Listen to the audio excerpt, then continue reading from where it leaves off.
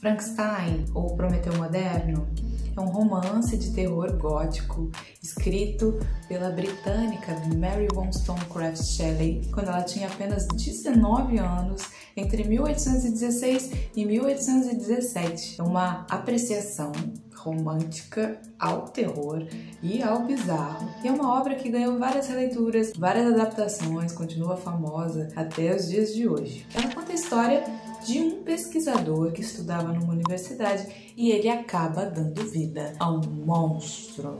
Esse livro ele é particularmente interessante porque ele é considerado a primeira obra de ficção científica. Isso porque essa criatura ela acontece meio por uns estranhos meios tecnológicos científicos em contrapartida aos meios mágicos divinos dos magos, dos poderes sobrenaturais que eram habituais para explicar aquilo que era inexplicável naquela época.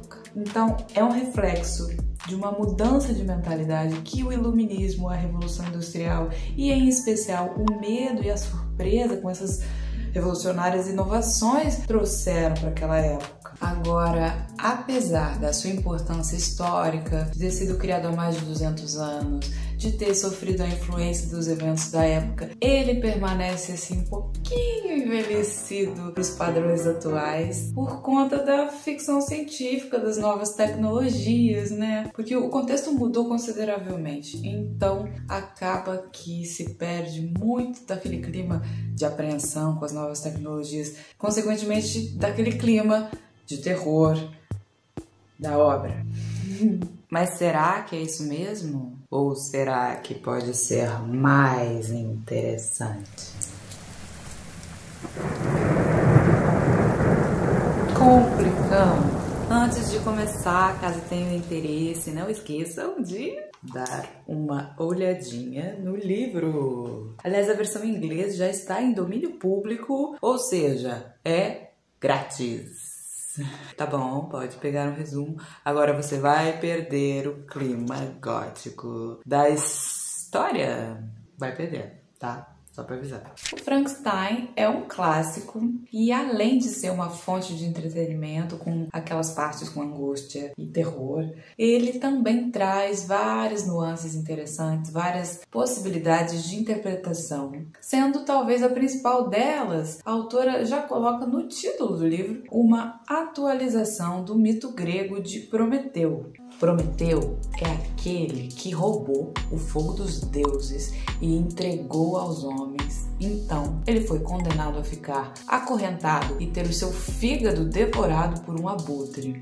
É interessante que, para várias civilizações antigas, a vida é representada pelo órgão do fígado. Então Prometeu, todos os dias, tinha o seu fígado reconstituído e devorado, reconstituído e devorado, reconstituído e devorado num ciclo interminável. A Mary Shelley costura novamente essa temática quando coloca a criatura é, num processo de atingir uma consciência maior sobre o mundo, sobre a sua condição e estar mais próximo do ser humano. E então a criatura lê o livro O Paraíso Perdido de John Milton, que conta a história de Adão e Eva quando mordem a maçã do conhecimento entregue pela serpente, que pode ser, a gente pode pensar no Lúcifer, aquele anjo da luz arrogante, e eles então são expulsos do paraíso. Simbolicamente, essas duas histórias retratam a dualidade da relação do ser humano com a tomada de consciência do conhecimento. Saber nos dá a possibilidade de construir culturas, civilizações, nos definir como Homo sapiens, sapiens, mas ao mesmo tempo nos traz grandes responsabilidades, nos traz angústias, nos traz sofrimento. E essa dualidade, em especial a faceta negativa, ela aparece de duas formas diferentes e constitui a espinha dorsal da história.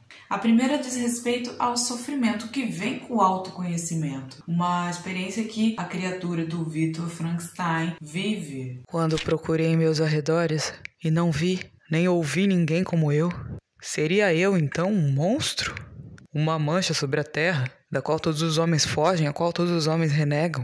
Eu não posso descrever para você a agonia que essas reflexões me infligiram. Eu tentei dissipá-las, mas o sofrimento só aumentou com o conhecimento. Ah, se eu tivesse para sempre permanecido na minha floresta nativa, sem ter sabido ou sentido essas sensações de fome, sede, calor, que estranha natureza tem o conhecimento. Ele prende-se à mente, uma vez obtido, como se fosse um líquen numa pedra, e eu desejei por vezes remover todo conhecimento e sensação, mas eu aprendi que só havia um meio de sobrepujar a sensação de dor, e esta era a morte. Um estado que eu temia, apesar de não entender. Ela toma consciência de quem é, que tem necessidades, desejos, que está viva, mas ao mesmo tempo ela percebe duas grandes angústias que é irremediavelmente solitária e que pode morrer. Já a segunda forma, se aproximando de uma arrogância de Lúcifer, diz respeito aos limites éticos que envolvem a obtenção dos conhecimentos, principalmente a utilização desses saberes. E Vitor acaba percebendo que ultrapassa todos esses limites. Vida e morte apareceram para mim como limites ideais os quais eu deveria ultrapassar e despejar uma torrente de luz no nosso sombrio mundo. Uma nova espécie me abençoaria como seu criador e origem. Muitos seres felizes e de excelente natureza deveriam seu ser a mim. Nenhum pai poderia possuir mais completa gratidão do seu filho do que eu teria a deles.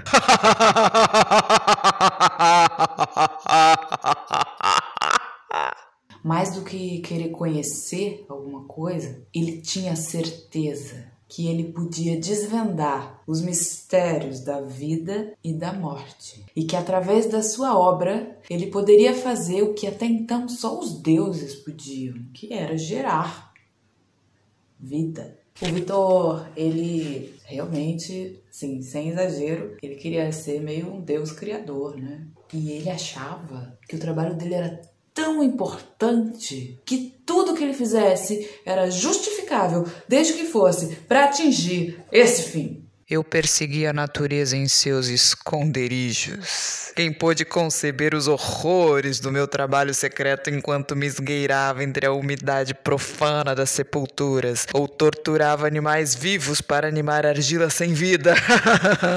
Eu coletei ossos de cemitérios e perturbei, com dedos profanos, os tremendos segredos da estrutura humana. A sala de dissecação e o matadouro supriam muitos dos meus materiais. E muitas vezes minha natureza humana se revoltava com repugnância à minha ocupação. Entretanto, ainda inspirado por uma ânsia que perpetuamente aumentava, eu trouxe meu trabalho a uma conclusão. Esse excesso na busca de um objetivo maior, desprezando qualquer ética, acaba fazendo o quê? Com que ele seja expulso do seu paraíso, acorrentado ao seu monstro que toma conta da sua vida.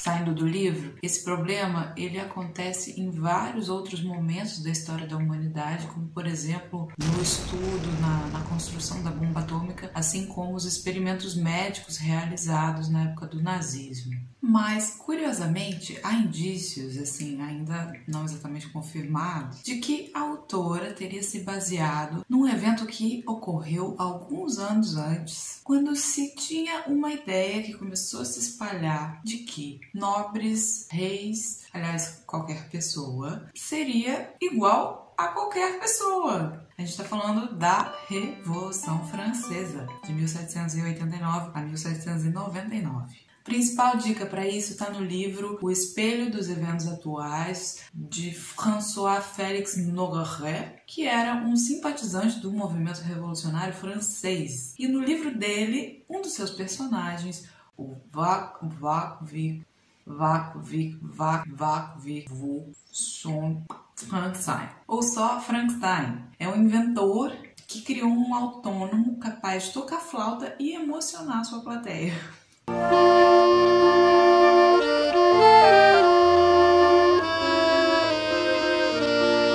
É questionável até que ponto isso é certo ou não, porque Frankenstein poderia se referir a um alquimista da, de uma montanha na Alemanha, ou inclusive até uma cidade polonesa chamada Zaus Frankenstein. Então, as semelhanças são muito pertinentes.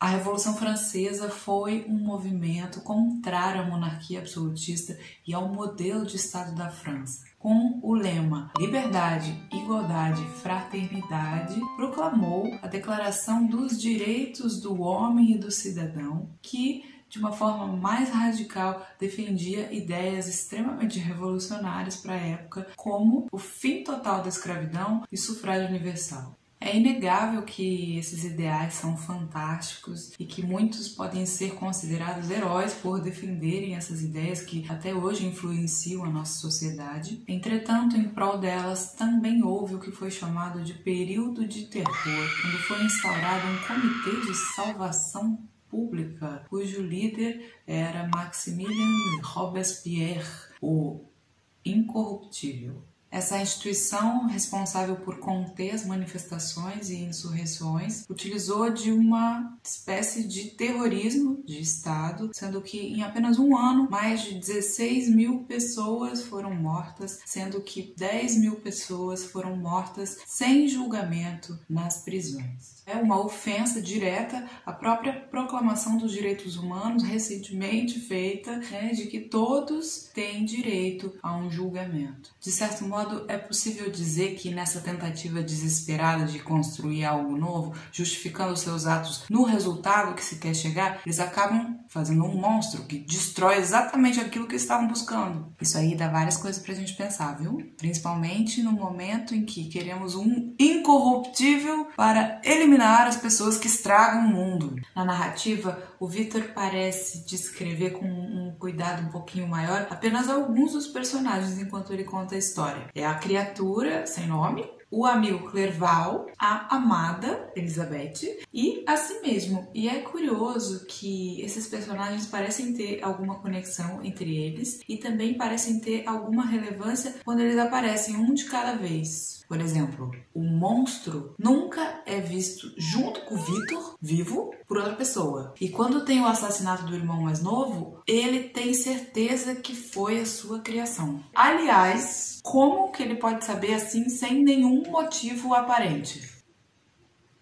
Nesse mesmo evento, mesmo sabendo da inocência da Justine, que na verdade é a pessoa mais suspeita do crime, o Vitor, ele não aparece muito nos eventos contados, não. Na verdade, é a Elizabeth que se manifesta com aquele apelo emocionado, porque o Vitor, sem relevância nenhuma, é quase como se apenas um personagem desses que tem uma descrição um pouco mais profunda pudesse ter esse foco, entendeu? Uma vez, sim, por vez, o foco. Não, é possível que isso seja apenas uma distorção causada por todo o ponto de vista ser contado a partir do Vitor. Mas a gente pode pensar que também isso é uma conexão, né? Que eles têm algo em comum. Por que não? Forçando um pouco a barra, dá pra gente atribuir que Vitor transtornado e louco, na verdade, imagina coisas que nada mais são do que projeções de si mesmo. Ou seja, todo o seu sofrimento, mortes e conversas com um estranho ser horrendo nada mais são do que os seus próprios atos insanos. Os seus atos insanos. Ou, indo mais longe ainda, poderia ser apenas uma história contada pelo capitão Robert Walton em sua aventura para o Ártico. Ainda mais considerando que, na verdade, o contador de histórias é ele, não é? Mas muito mais interessante seria a gente fazer uma leitura simbólica entendendo cada personagem como uma parte de um todo e esse grande personagem formado a partir dessa soma seria, em sua essência, uma pessoa como qualquer outra, formada a partir de suas partes, de suas facetas. Meu temperamento era por vezes violento e minhas paixões veementes, mas por alguma lei em mim eles se voltavam não a buscas infantis, mas a um forte desejo de aprender, não de aprender coisas indiscriminadamente. Eu confesso que nem a estrutura das línguas, ou o código de governos, ou a política de vários estados tinham atrativos para mim eram os segredos dos céus e da terra que eu desejava aprender. Logo de cara, o Vitor, por ser responsável por descrever tudo, ele pode ser considerado ponto de referência à personalidade principal,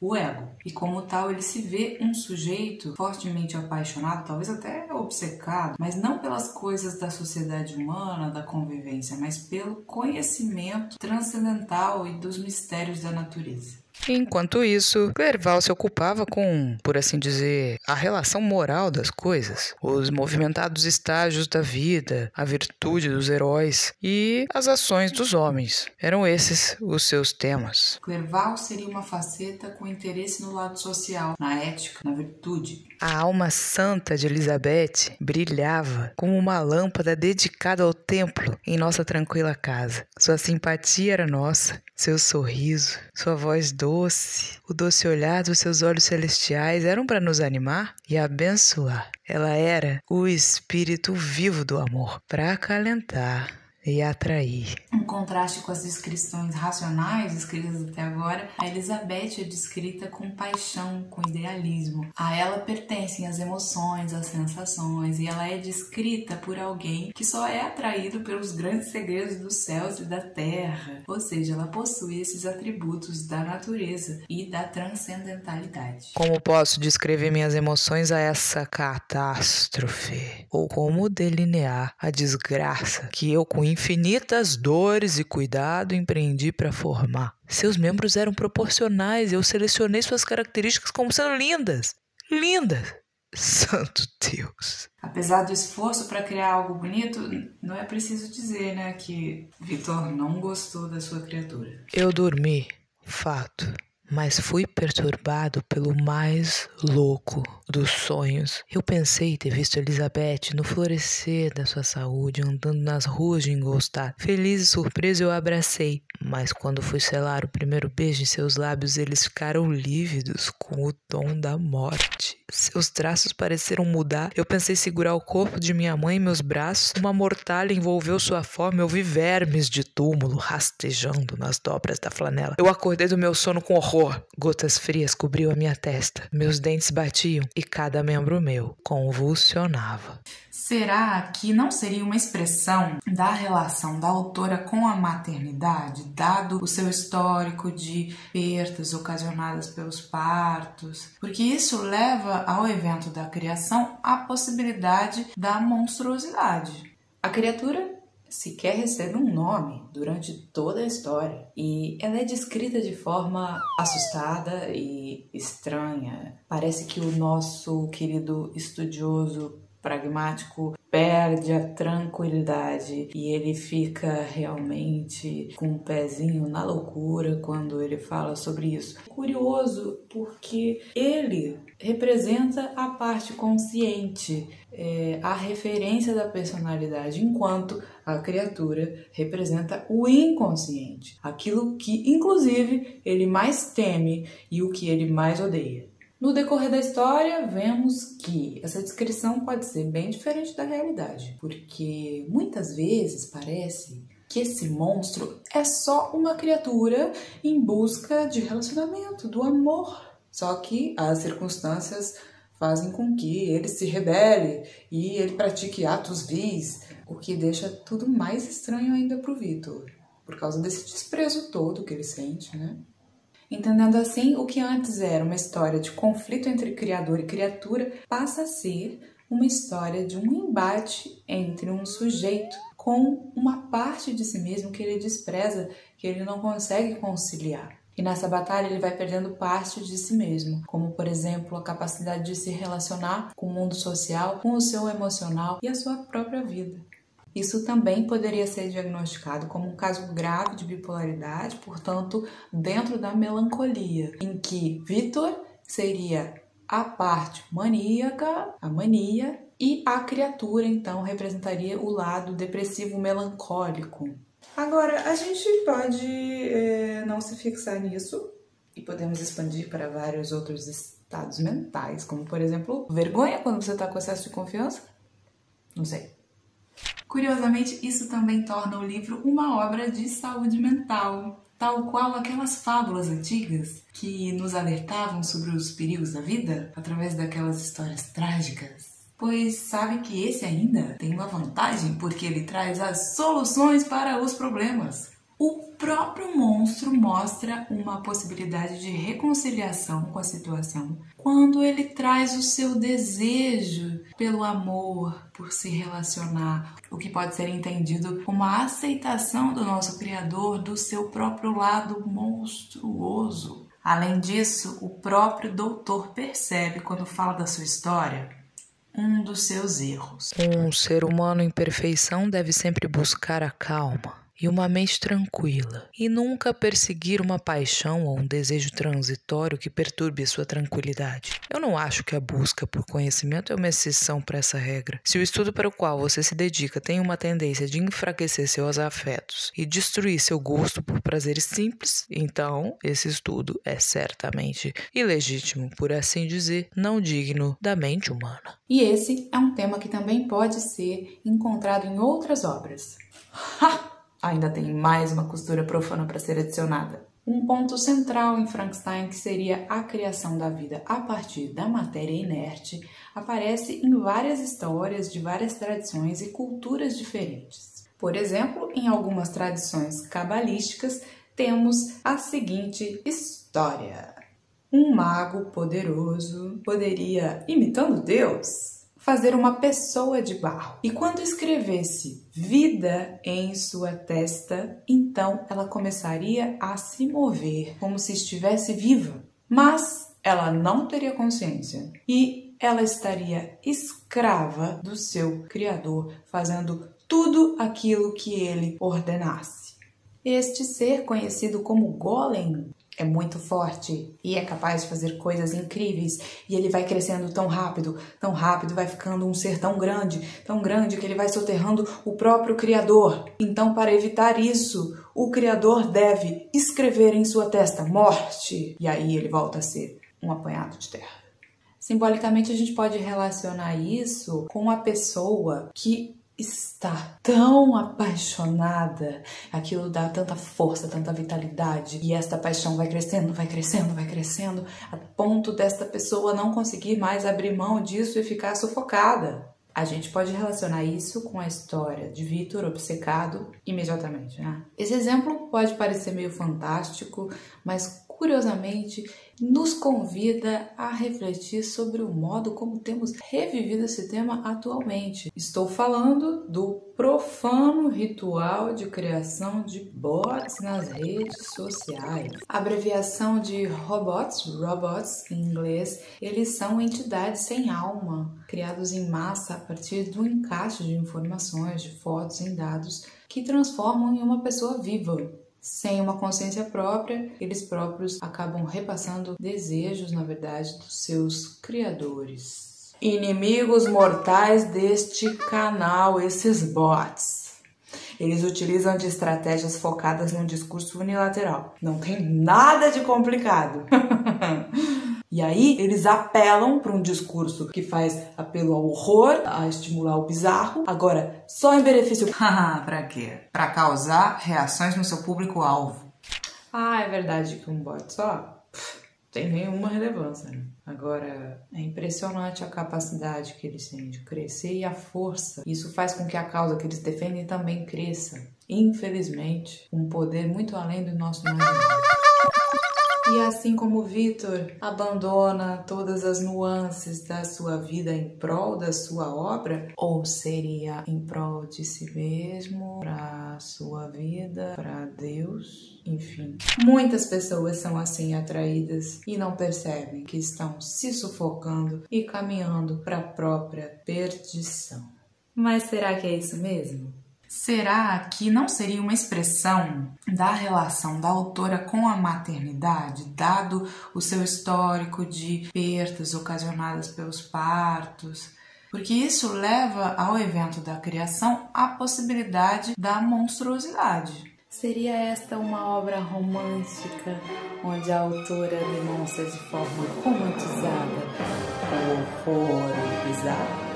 Ou, na verdade, justamente critica o romantismo e os ideais iluministas, uma vez que esse monstro veio do conhecimento científico? Ou será que simbolizaria a figura do Vitor, uma figura paterna, masculina totalmente fracassada, já que não consegue lidar de forma saudável com a sua criação?